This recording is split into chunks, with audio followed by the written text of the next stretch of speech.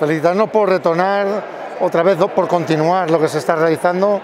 y sobre todo por haber podido celebrar una Supercopa de España, en este caso femenina. Ayer era, ayer era imposible que pudiésemos meter público porque ayer las noticias hablaban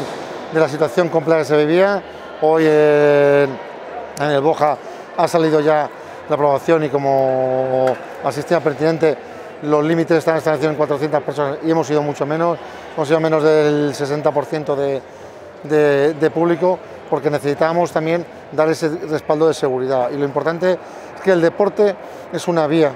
eh, segura de práctica deportiva, es una vía segura para trasladar, para trasladar ilusiones y para trasladar lo que todos queremos, y es movimiento deportivo y movimiento social también dentro de las limitaciones que tenemos hoy en día. Importante sobre todo también el grado de implicación de las tres administraciones públicas, Ayuntamiento, Diputación y, Junta, que se han volcado una vez más en, respaldar un evento en momentos delicados. Todo es más sencillo cuando todos se ponen de acuerdo y creo que estamos en unos momentos que todavía prima mucho más el ponerse de acuerdo, llegar a acuerdos eh, conjuntos para intentar conseguir eh, lo que todos queremos, ir por el mismo camino, trabajar duramente por lo que todos luchamos y es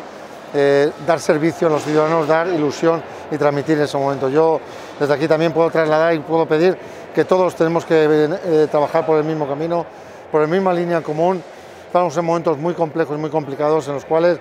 más que nunca necesitamos que todos nos unamos por una lucha en común y es, en, principio, derrotar a este virus y sobre todo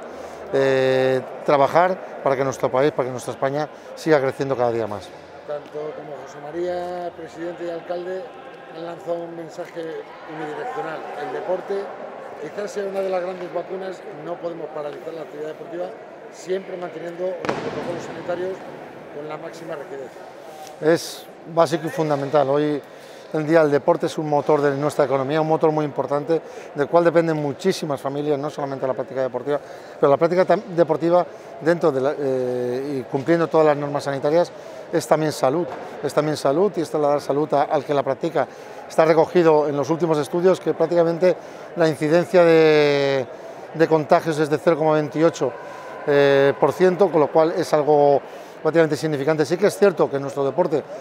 porque no, está exento de las relaciones humanas, laborales que pueden tener fuera del ámbito deportivo, pues se han visto en una situación en la cual hemos tenido situaciones de COVID, situaciones de contagio, pero que todo viene predeterminado por la vida social o la vida profesional que muchos de los jugadores eh, federados o deportistas mantienen también fuera del entorno deportivo. Yo creo que la práctica deportiva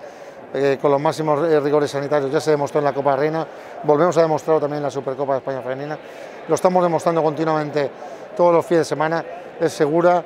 es saludable y yo creo que tenemos que seguir apostando por ello. Y de aquí quiero agradecer a las tres instituciones también ese apoyo constante, esa preocupación y ese no dejar caer al deporte en un pozo que no podríamos salir. Y por último, de cara a los aficionados, hoy también un nuevo ejemplo de comportamiento, respeto, medidas de seguridad. Yo creo que no nos tenemos que dar con un canto Yo creo que nuestro balonmano, hoy hablaba con el secretario autonómico del deporte y me decía es que es muy fácil hacerlo con vosotros porque extremáis la medida de seguridad y yo quiero agradecer al aficionado, a todo el que se ha desplazado, a los que lo han visto desde sus casas, pero especialmente a los que han venido, el respeto escrupuloso que se ha tenido con todas y cada una de las normas sanitarias que se han dictado, que se han marcado, y creo que eso es lo más importante también para nuestro deporte, que lo hace todavía un poquito más seguro. En la pista hemos disfrutado de un gran balonmano, hemos disfrutado de un partido muy reñido, de un partido que pensábamos que nos podíamos ir a la prueba, que podía quedarse ahí. Al final se ha decantado para un lado. Creo que hay que felicitar a los dos conjuntos por ese esfuerzo, ese trabajo y sobre todo por luchar por un título y luchar en las condiciones que la estamos haciendo hoy en día y ese trabajo que están haciendo también desde detrás los clubes, todos los presidentes, ese esfuerzo añadido que está pidiendo